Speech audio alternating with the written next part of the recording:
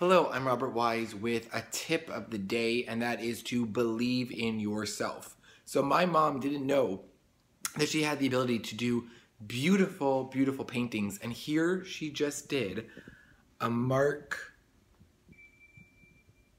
Chagall stunning piece of artwork because she took the time to try something new and believe in herself.